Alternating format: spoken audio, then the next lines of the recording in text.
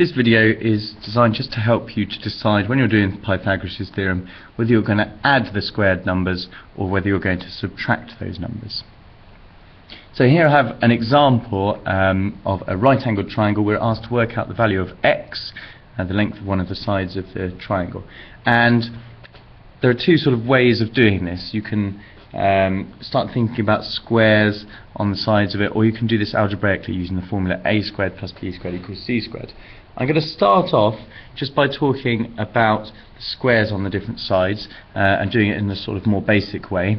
And then we're going to have a look at the algebraic way and see if we can decide whether we add or subtract to find this distance. So if we start off with Pythagoras' theorem, basically, uh, in, the, in, its most sort of basic form, Pythagoras came along and said, right, well, if we draw a square here, we draw a square here on these two shorter sides, okay, the area of those two is going to add up to make the area of this big square here. Okay, can't quite fit it on my piece of paper. Well, let's have a look at some of those numbers. The area of this square, we know it's 25. 5 times 5 is 25.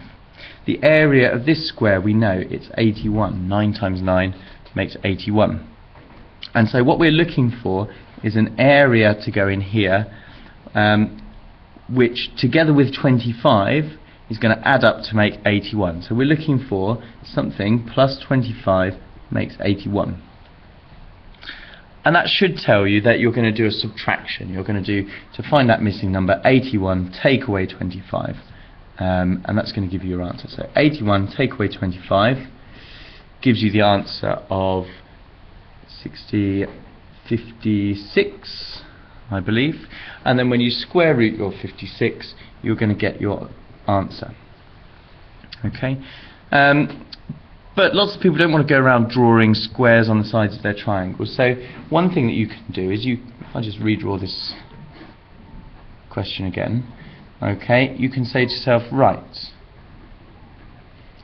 well there's a sort of shortcut rule. If I'm finding the longest side, that's the hypotenuse, then I'm going to square and add the two numbers.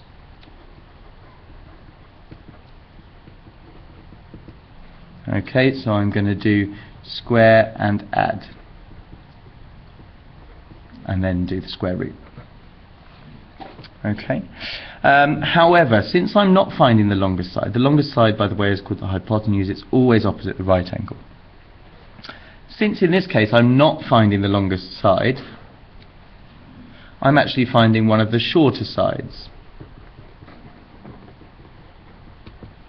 In this case, you need to square the numbers that you see. You need to subtract. And then you need to square root. Okay, so let's just check that that gives us the same answer as before. We square the numbers we see, that's 81 and 25. 9 squared is 81, 5 squared is 25. We subtract them, which gives us our 56, and then we square root 56. Okay, let's just check. Is that exactly the same as what we did above? Yes, it is. Okay, we didn't have to go through drawing squares. We didn't have to start with this uh, statement where they add together to make 81. We simply said, right, I'm finding a shorter side, so I'm going to square the numbers that I see, subtract them, and then square root. So let's try and apply those two rules to a couple of examples. I'll just write those out again for us. We've got, if you're finding a long side, the longest side, which is the hypotenuse, okay, then you're going to square, add, and then square root. If you're finding one of the shorter sides, you're going to square, subtract, and then square root. That's the basic difference. You're adding for it to find a longer side. You are subtracting to find a shorter side. So let's just have a quick look here. Okay, here is a right angled triangle. I'm going to give the numbers 13, let's do it in centimetres, 8 centimetres and x. We're asked to find out the value of x. Okay, so we've got to decide which of these methods we're going to use, adding or subtracting. Where's the longest side? Well, that's the longest side. I'm not asked to find that side. I already know that that's 13, so I'm asked to find a shorter side. So what I'm going to do is I'm going to follow this rule. Square the numbers I see, subtract, and then square root them. So square the numbers I see, start with the biggest one, 13 squared, subtract 8 squared, okay, and that's going to give me, so that's 169, take away 64 is 105 and then I would square root my 105 get the answer. Okay so a subtraction if you're finding one of the shorter sides. Let's have a look at another example here. Put this on top so we can still see the rules. Um, this one here. Okay we are going to have 15 centimeters 7 centimeters and x here. So let's have a look for the longest side. The longest side is opposite the right angle. It's called the hypotenuse. And in this case, I am asked to find that longest side.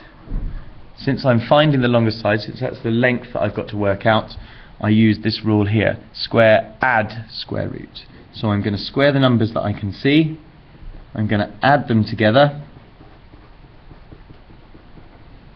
Okay, 15 times 15, 7 times 7, add them together, I'm going to get 274 and then for the final step I would square root 274 okay let's try one more. In fact if I draw two you can take a minute and just decide for yourself. Okay so we've got 8 centimeters 5 centimeters and x and then I'm going to do 7 centimeters 12 centimeters and the value of y. So pause the video.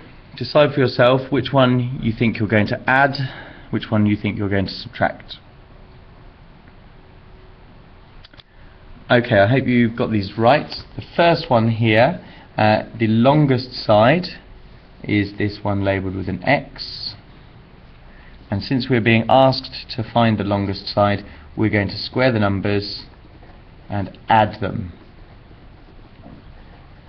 In this case that makes 89 and then we square root that number to get our answer. Okay. For this one here for the value of y we are going to look for the longest side. There it is.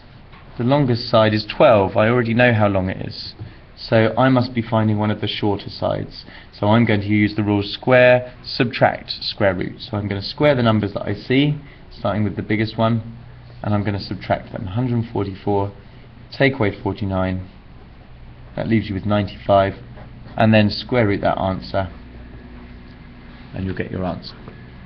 So I hope that's helped you to decide when you're subtracting and when you are adding very last thing, um, if you do this using the formula a squared plus b squared equals c squared, okay, and you know your a, b and c, so c is the hypotenuse, um, if you're good enough at your algebra you can actually rearrange this. So for example, if you're trying to find a squared, you need to do c squared minus b squared. You take away the b squared from both sides of the equation.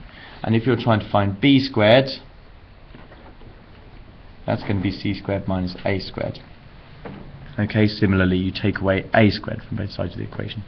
So if you do it using algebra, it can be an advantage, can be a lot quicker um, if you're confident with your algebra uh, and rearranging formulae.